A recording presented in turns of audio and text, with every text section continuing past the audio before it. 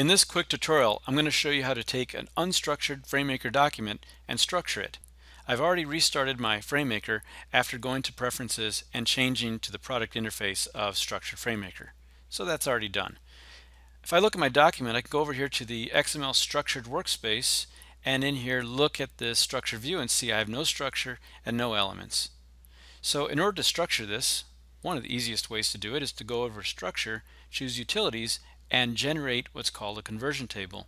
This is going to take the styles that I have in here and generate a table with matching elements that I can now slam back into my document.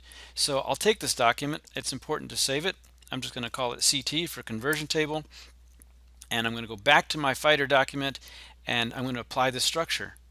When I come back to utilities and choose structure current document, it's going to ask me for some type of conversion table.